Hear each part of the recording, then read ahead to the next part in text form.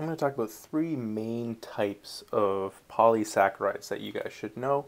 So polysaccharides are just hundreds of thousands of monosaccharides coming together. The first type I'm going to talk about is glycogen. So it just stores chemical energy in uh, animals, which is usually stored in the liver or muscles. And it usually just kind of hangs out there until our cell needs energy, and then it will be used as an energy source. Then we have starch. So this is chemical energy in plants. It can come in two different forms. Amylopectin, which is a branched form, so all of these glucose molecules, all three of these are just long chains of glucose molecules.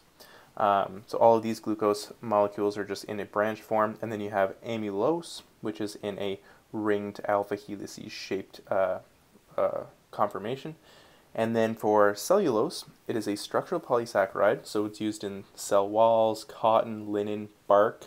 So it's very rigid, it's very, um, it, it doesn't break down easily. And another thing that's interesting about it is that we can't digest it. So what is the difference between cellulose and say starch? Because they both come from plants, but we can easily digest starch with a protein that is called amylase.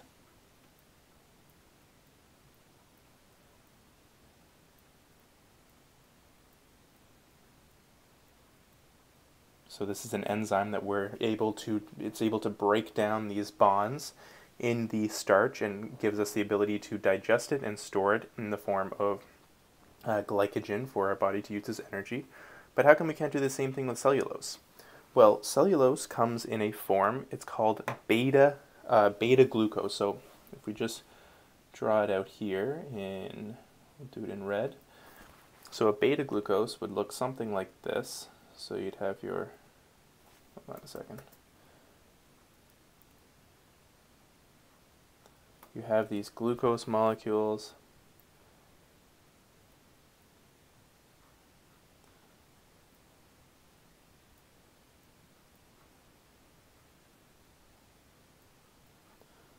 So, in a beta uh, glucose uh, linkage, you would have your hydroxyl groups pointing down, and then you'd have one pointing up, like this. So it is in a opposite conformation, and these molecules will all be connected. So that is the only difference. So if we look now at a alpha, it's called, so we'll label this as beta.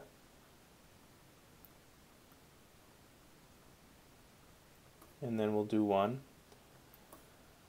for alpha. And if we look here, it'd be the same thing.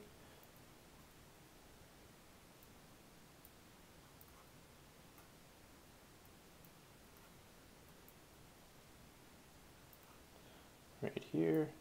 But every single hydroxyl group would be pointing down in the same direction. So this gives the ability for amylase to break it down and digest. We can digest each individual glucose molecule and use it later for energy, as you'll see when we're using glucose for energy in the uh, citric acid cycle when we're creating ATP.